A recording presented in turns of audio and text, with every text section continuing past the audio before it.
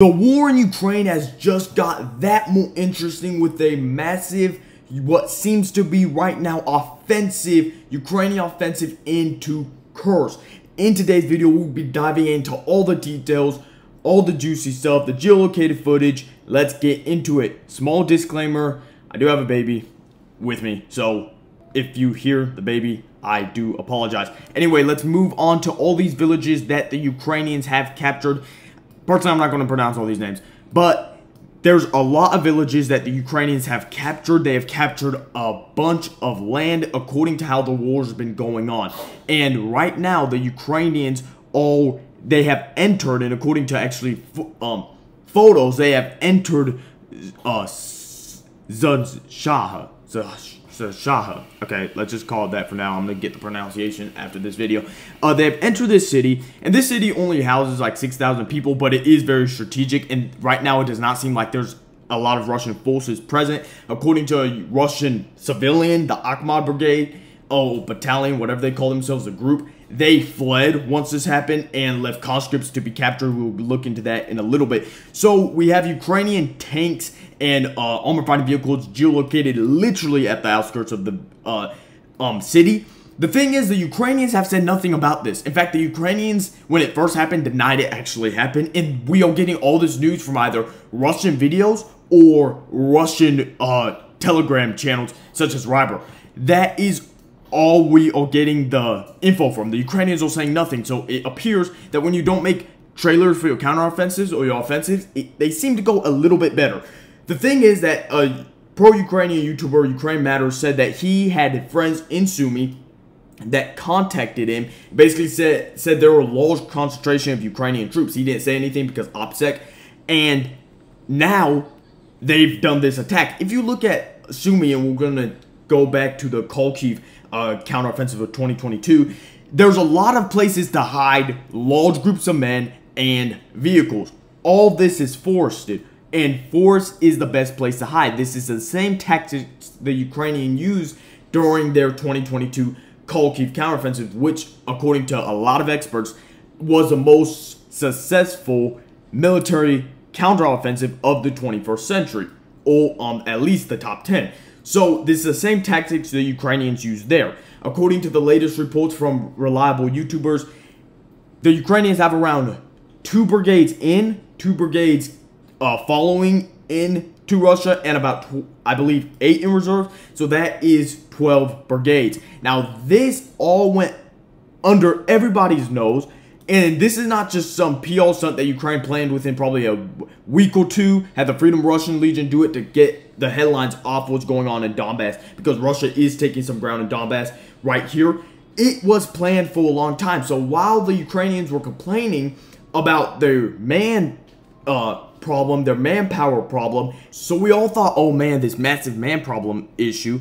And now they have this massive attack in Sumy. And like I said previously, with th that amount of brigades. Not saying Ukraine is not facing a manpower issue, they are. However, a lot of YouTubers have brought this up that Ukraine has a bunch of soldiers that are literally not doing anything, just guarding places for no reason because they don't want to go and fight or to stop Russian sabotagers or anything like that. So that's literally could be what the Ukrainians took from those men, or Ukraine could have played a massive deception on everybody, complaining publicly about their manpower issues. And that's what I thought was weird. Why are you going to complain publicly when the Russians can literally read the news? What in the world? Without just telling, hey, uh, Biden, we have some serious manpower issues in private. They were saying it publicly. So that could have been a mass deception. I don't know. But that's not really what's important right now. So let's go to the details now. This map is not updated uh 100%. It's has not been updated ever since earlier today and yeah, so this is how it looks on the front lines right now. Much more territory under Ukrainian control, but this map just shows geolocations, and that's why I like using this map a lot. So right now we see uh, captured Russian soldiers, which I showed in the previous video, but that has nothing on these Russian soldiers, which were captured. Uh, 40 Russian soldiers captured. Actually, a YouTuber counted out and it was 36, but I'm pretty sure there could be four that were off screen. And according to this, four Ukrainians captured all these 40 troops.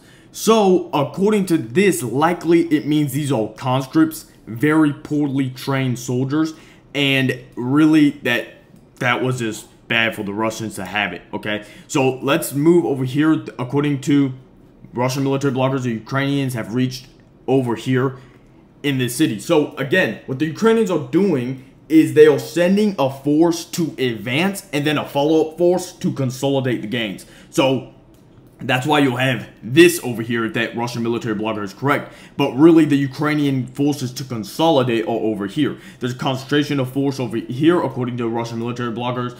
Rybar, there's another concentration of Ru Ukrainian forces here, so they could try to uh, come in. There is, right here, videos of Russian reinforcements.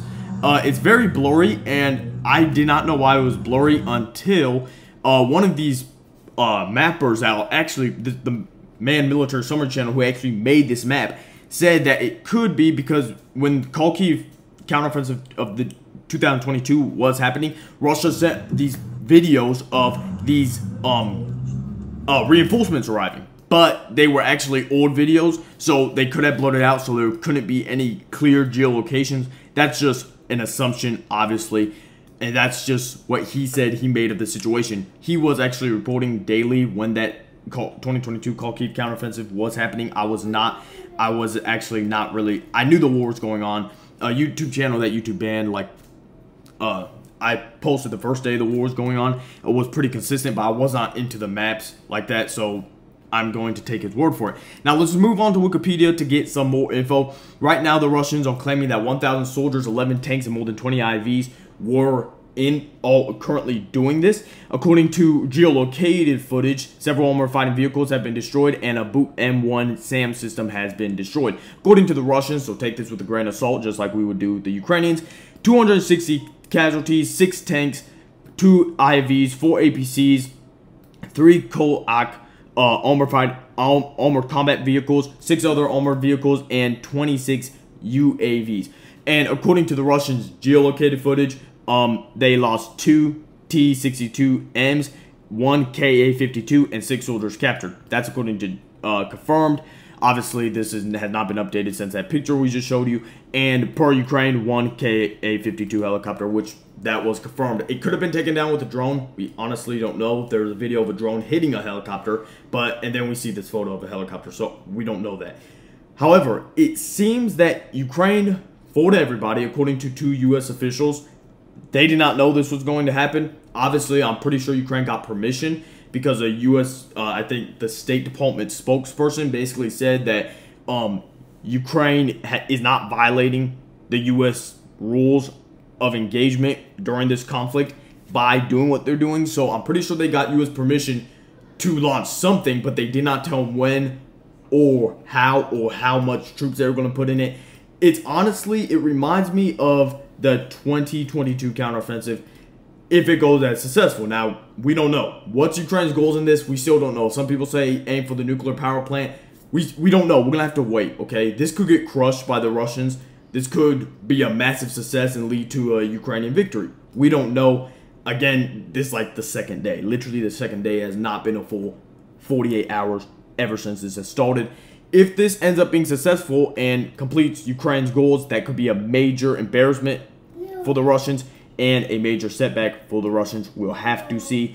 This is not for pro-Ukrainians to start jumping up and down or pro-Russians to start coping. We are going to actually have to see what is going on. If this is going to be something serious that Russia needs to worry about, or if it's something that Ukraine's just doing to launch a diversion. Right now, I think how this is going on, it's going to play like the Kharkiv counteroffensive. Um, but we don't know. Anyway, guys, thank you guys for watching. Make sure to like, comment your thoughts down below, subscribe, and I'll catch you guys in the next video. Bye.